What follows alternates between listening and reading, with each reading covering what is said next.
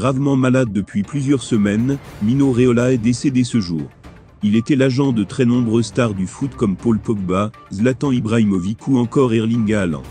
Voilà une nouvelle qui attristera beaucoup de monde dans le milieu du football, à défaut de surprendre. Atteint d'une grave maladie depuis de longs mois, Mino Reola s'est éteint aujourd'hui à l'hôpital de Milan. Il avait 54 ans.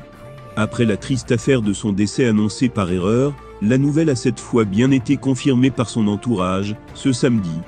Devenu l'un des agents les plus influents au monde, il s'était constitué un véritable empire en un peu plus de 20 ans.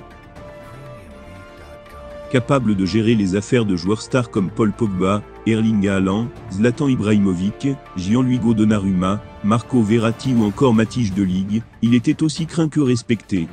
Adoré par ses protégés, dont il défendait les intérêts, comme personne afin d'obtenir le meilleur contrat possible, l'homme d'affaires était également connu pour ses prix de position franchement libérales.